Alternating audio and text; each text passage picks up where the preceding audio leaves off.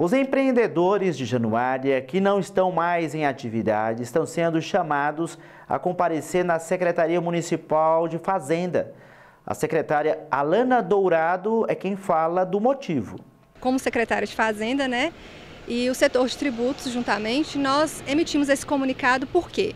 A gente tem trabalhado muito na dívida ativa, né? Não sei se, gente, se vocês se lembram, mas a gente até comunicou, falou sobre a dívida ativa ano passado. E o que acontece? Quando a pessoa ela dá uma baixa na empresa, às vezes ela dá a baixa, ela encerra aquela empresa junto com o seu contador, mas ela não comunica o, o fisco municipal. Então nós ficamos sem saber e dificulta para a gente essa informação. Então o que acontece? Eu continuo entendendo que a empresa está aberta e aquela taxa de alvará ela vai ser ajuizada em dívida ativa.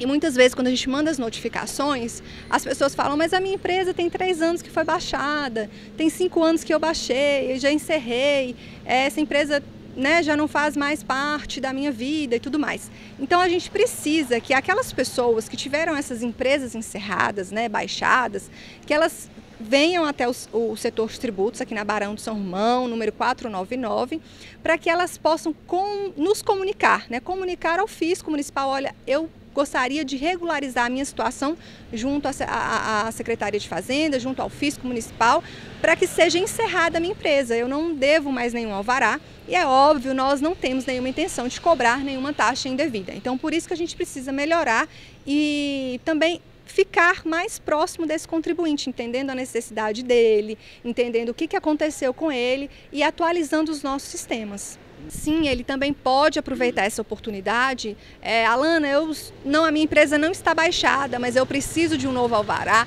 por favor, nos comunique, por favor, venha até nós, é, diga o que você precisa. A gente vai passar a lista de toda a documentação que você precisa regularizar, né? Às vezes ali, não sei, mudou um sócio, mudou uma pessoa responsável. Então, atualize os nossos sistemas para que quando a gente tiver que fazer uma comunicação com essa empresa, a gente tenha um telefone rápido, a gente tenha o nome completo dessa pessoa, documentação. Então, a gente possa realmente ajudar ainda mais esse contribuinte. E nós, Pablo, estamos fazendo isso na tributação. Nós hoje estamos no momento estruturando todo o departamento departamento de tributos, né, de arrecadação, de fiscalização.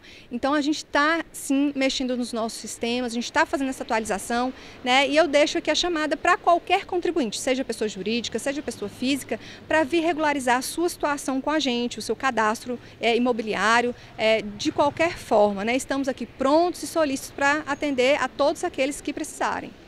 O setor de tributos do município fica na rua Barão de São Romão, número 499, no centro.